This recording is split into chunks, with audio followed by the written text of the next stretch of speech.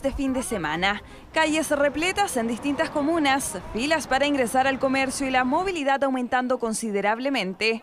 A pocas horas de un nuevo superlunes, la prueba será aún mayor cuando la región metropolitana quede fuera de cuarentena casi en su totalidad. Echaba 40 minutos, pero como ser desde el lunes para adelante, como dice usted, eh, si, si Ana vamos a salir, va a salir toda la gente a la calle, por lo menos voy a echar una hora, 20 minutos en llegar a la casa, porque las micros van a ir más llenas.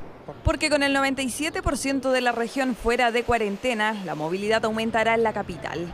Considere además el regreso de trabajadores a la modalidad presencial. Ante esto, las autoridades afirman que el sistema de transporte ya está preparado para este super lunes. Cuando hubo estos primeros desconfinamientos, volvimos al plan de operación de temporada normal con refuerzos de buses donde es necesario ponerlos, como digo, con refuerzos de trenes cuando se abrió San Bernardo. Siempre hemos estado eh, pendientes de eso y ahora la capacidad del sistema está toda disponible. En total serán 5.800 buses los que saldrán a las calles a partir de este lunes.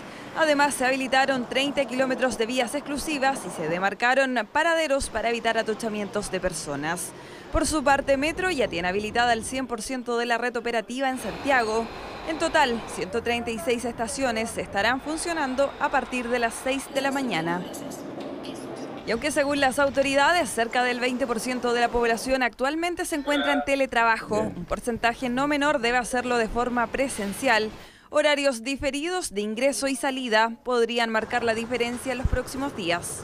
El comercio más detallista a las 10 de la, mañana, de la mañana, el comercio en centros comerciales un poco más grande a las 11 de la mañana y lo que planteaba el alcalde Codina es que en ese caso, si se va a plantear esta idea, entonces que todas las tiendas, aunque sean más pequeñas, que que funcionen en centros comerciales también partan a las 11. Propuesta que también incluye al rubro de la construcción, con ingreso a partir de las 7 de la mañana. Empresas con labores administrativas entre las 9 y las 10 a.m., mientras que los bancos mantendrían sus horarios, pero con el 50% de sus trabajadores en modalidad de teletrabajo. Bueno, yo creo que va a haber la misma aglomeración de gente. Así que hay que ver el lado contrario, porque si dicen una hora, yo creo que la gente va a salir más tarde y va a haber el mismo caos, sea la hora que sea. ¿Cuál sería la solución en ese caso? Seguir con la modalidad de teletrabajo. Yo creo que sí para trabajos más formales o más regulares, creo que corresponde un cambio sistemático en diferentes horarios para cada eh, área de trabajo, por ejemplo, para cada rubro y cosas así, para evitar justamente estos tacos. Una modalidad que busca evitar atochamientos de vehículos, aglomeraciones en buses y en el metro, como las que se veían antes de la pandemia, pero sobre todo prevenir una reactivación o rebrote de coronavirus en el país.